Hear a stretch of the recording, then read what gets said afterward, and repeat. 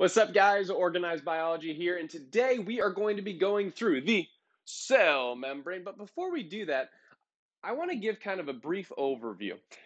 I love thinking about the cell in terms of a small business, right? So, in a small business, say you're making a product, your small business, you're going to have to maybe pay some money. You're going to have to bring in all these materials. You're going to have to transform those materials. You're going to have to ship them out, gain a product back. Well, hopefully, gain income back, gain money back, right? But you're also going to have to call different companies, maybe call different organizations, different people, so that you can improve your business. And maybe at some point you want to market your business. Maybe you want to kick some people out because they're doing a really bad job. And sometimes you want to bring some people in. And sometimes maybe you make too much waste, so you have to ship that off somewhere. And maybe your business starts growing and growing, so now you're bringing in more materials. Well, I just related the cell to a small business but the one that's doing the actual actions of the small business, transporting things out, transporting things in, making communication, that's the cell membrane, y'all. So the cell membrane is not just this doorway passively letting things in and out willy nilly. No, this is a master regulator. And a master regulator of what, you may ask? Homeostasis. And if you haven't watched my video on homeostasis, please do. It's a really good overview. But what homeostasis means is maintaining this stable set of internal conditions. You see, the goal of every cell, every living thing, is to maintain homeostasis. If you don't maintain homeostasis, or if you're out of it for too long, a lot of disease and damage can occur to your cells or your body. So, as we think about that, I want you to think about how this cell membrane is going to maintain the internal, within the cell, its internal conditions properly while separating itself from the outside environment, the extracellular part. So before I go on, just look at this. So this is the cell membrane section. We'll go through the parts. But there's going to be an intracellular component as this membrane wraps all the way around. So this is inside of the cell. And then there's going to be an outside component, the extracellular part.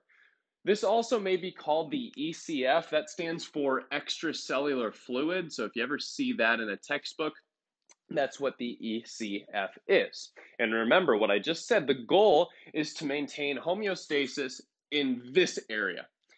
But the crazy thing is, is this is just one cell of your 30 trillion. So a lot of the times, certain cells will get out of homeostasis for the greater good of keeping your entire body in homeostasis. Now that that's crazy. That's selfless of these cells. Let's give these cells a round of applause, right?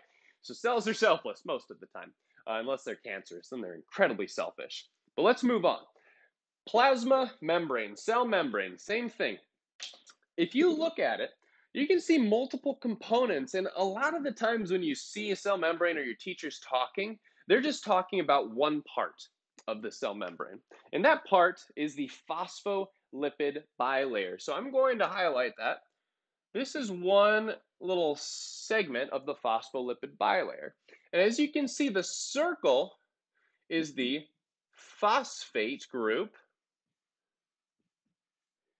And then the tail is the lipid portion. So phospholipid bilayer. That's how we get that name.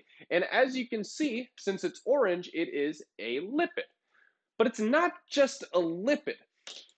See, the, the amazing thing about um, the cell membrane is that there's multiple components, okay? So as you can see, the blue represent proteins, and they all have different shapes, different sizes, different configurations that will do different things depending on their structure. So we're going to be going through the structure and functions of those proteins in a later episode, but I just wanted to point out a few of them uh, right now. So these are different structures that they can be, but you also see some red.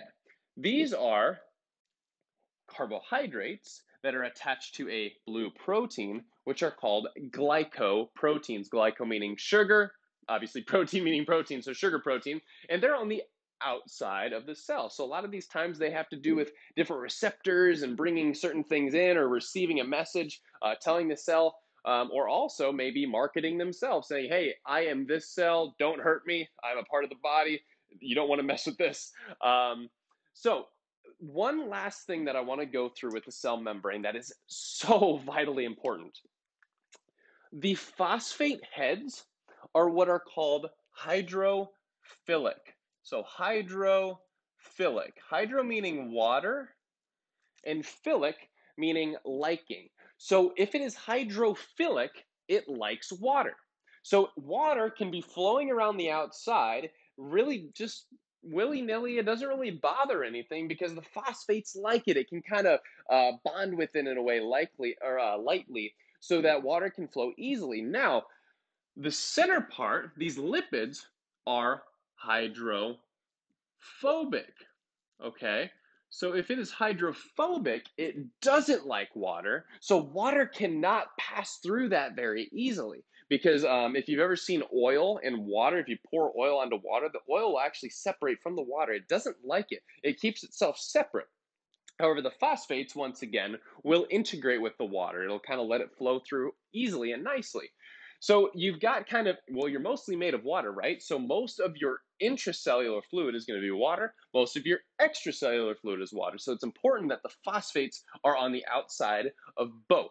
Okay, so that's going to be really important because we'll see later on that small lipid molecules can actually squeeze through and pop through really easily, whereas water specifically can't really wiggle its way in very well. A lot of the times it needs a small protein called an aquaporin water hole to allow it through. So potentially this could be a aquaporin where water flows through passively um, into it or out of it, depending on other factors. So we're going to get into that later. But once again, big picture, um, cell membranes more than just uh, lipid, not more than just a phospholipid bilayer. It's got proteins, it's got carbohydrates, it's got all of these components that help regulate the cell, maintain homeostasis. And one final term that I forgot to give you is that the whole cell membrane is considered a fluid mosaic model. Weird name, right? Fluid, meaning because it can kind of change its form, change its shape, depending on how much cholesterol is embedded in these uh, hydrophobic portions. And mosaic, if you've ever seen a mosaic, it's a beautiful, uh, maybe like stained glass that has all these colors and shapes and sizes.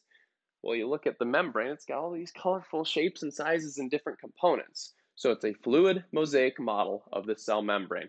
I hope this was helpful. It was a brief overview. We're going to be talking about different things in the future regarding the cell membrane. But once again, like, subscribe, let me know if you have questions, and I appreciate you watching this video. Happy learning.